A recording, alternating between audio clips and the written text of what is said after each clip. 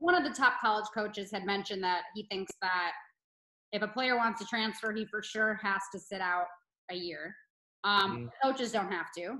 What's your stance on that? It doesn't really matter either way for me. I think this kind of what's gotten lost in everything, and this is why I hate when people start to compare, because as you're as you're asking me questions, you know, I would say the questions that you ask are coming from from the perspective of what you've seen since you since you've been watching sports and how you've seen it grow. So my thing would be since I'm 46 years old, like it it really didn't that really didn't bother that really didn't bother me, so to speak. You know what I'm saying? But now, because it's changed, and, and rightfully so, now this has become a topic of conversation. Like it used to be, you know, you just you transfer, you sit out, nobody made a big deal about the coach. But what I would say is, is I'm not against it. If if a guy transfers, you know, he and he can transfer right away and play somewhere right away, then just going ahead and do it. I think that I think that if the coach not using them, he not using them.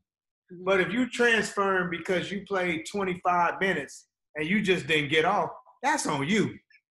I don't feel like he should play. Mm-hmm. So it should be some kind of common ground there. To me, this is what I don't understand.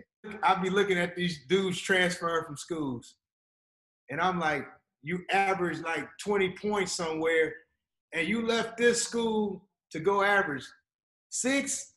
Like I don't get it. Like I just like I don't get it. If you are good enough, they will find you. It's look bad. At Steph went to school. Look at where Dame went to school. I mean, these aren't top schools like a Duke, Kansas, or Kentucky. There's this illusion that you got to do or go to this school to get what you want. When in reality, no, you don't got to go there. Don't get food. Don't get pump fake by the practice facilities, by this and by that and all that. Like, where do you fit in all that? That should be your first question. Where do I fit in all of this? Second question is, will I have an opportunity to get on the floor if I work hard? Not, am I going to get on the floor? No, uh, if you work hard, you, you had an opportunity. That's all you should be worried about. Mm-hmm. You know, um, so you know, I don't have no problem with it. I'm I'm good with it personally. Like I'm I'm good with it. I've had I've had a starter transfer. I've had two starters transfer, so I've seen it. I've seen it different. One starter transferred, he grad transfer here and went to Oklahoma, but I was good with that. Like that don't bother me. Like we still good. We talk.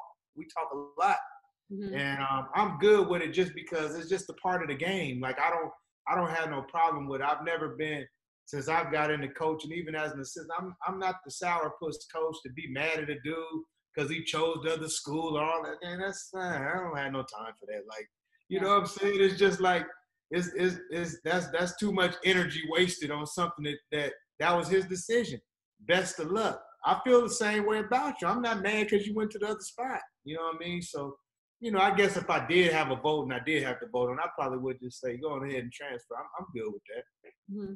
No, you've always seemed like a guy that's just kind of open to whatever the player. I mean, you're an advocate of a player because you you played, so you understand that. Like, you know, when you were coming up and you were deciding on the schools that you wanted to go to, you wanted to be able to decide for you.